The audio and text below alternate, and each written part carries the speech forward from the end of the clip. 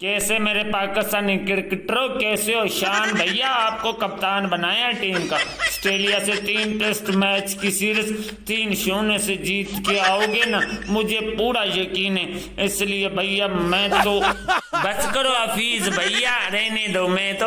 अबे, ये कहाँ जीतेगा? जीतना इसके बस की बात नहीं। हाँ तीन शून्य से हार के ज़रूर आएगा, ये हमसे लिखवा लो। अबे, बस करो बाबर भैया, तेरे को क्या लगता? तू अकेला कप्तान निकल के टीम को जितवाता अबे ससुर का नाती तू कौन सा जितवाता था? एक दो हार जाता था, एक आधा ड्रॉ करता था। मैं भैया तीनों के तीनों जीतूँगा, तीन शून्य से ऑस्ट्रेलिया वालों को ठोक के आऊँगा अबे बसकर शान के बच्चे ससुरी के तेरी टीम में जगह नहीं बनती थी, है? तेरे को कोई टीम में नहीं खिलाता था। तेरे को उठा के भैया इन्होंने कैप्टन बना दिया। अबे वाह रियाज भैया चीफ सेलेक्टर बने हो या? भैया क्या बने हो?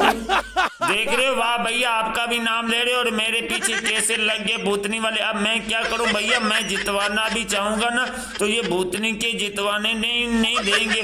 क्योंकि जानबूझ के आउट होंगे, मैं भैया अकेला क्या करूँगा? छोड़ो शान भैया, तुम अपना खेल में प्रदर्शन दिखाना, चार पाँच सौ फ़ीसद दिखाना। हमको पता ये भूतनी के जानबूझ के भी आउट होंगे ना, शून्य पे भी सबके सब। तू अकेला पाँच, छह सौ रन बना के टीम को जितवा सकता है। वाह भैया, क्या बोल रहे हो? भंग भंग पी रखी है क्या? ये ससुर का नाती चार पाँच सौ बनाएगा। ये भूतनी का चार पाँच रन बना लेना। तो हम इसको भैया तोपों से सलामी देंगे। सूफी नहीं है ये सुसुड़ी वाले से चार पाँच रन भी नहीं बनेंगे। देख लेना भाइयों जब भी टीम हारेगी ना इसी वजह से हारेगी पाँच दस रनों से क्योंकि ये जाएगा हर मैच में।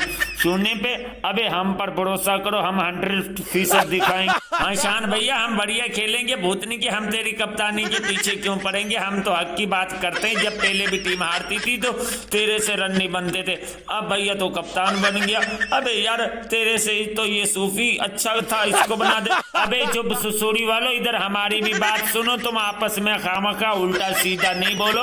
अब भैया, हम हैं बॉलिंग कोच, हमसे कोई टिप टिप ले लो, हमको भी मौका दो, ताकि हम कोई मशवरा दे सके, ताकि तुम लोग जीत सको। हाँ गुल भाई साहब, बिल्कुल सही कह रहे हफीज और वाह, भैया, आपका भी काम खत्म। टीम चुन दी अब भैया, हमारा काम शुरू।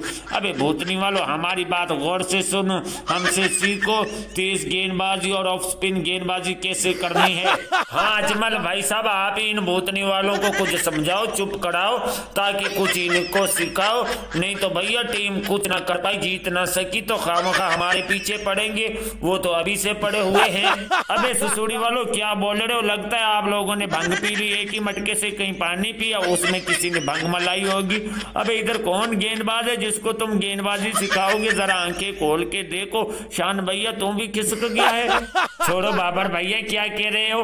भैया, ये भूतनी की मेरे को गेंदबाजी सिखाएँगे, क्योंकि रजवान के होते हुए वैसे मेरी जगह नहीं बनेगी। एक ऑफ़ स्पिन सिखाएगा, एक तेज गेंदबाजी करना सिखाएगा, फिर दोनों साइडों से मैं अकेला ही गेंदबाजी करूँगा पूरा दिन।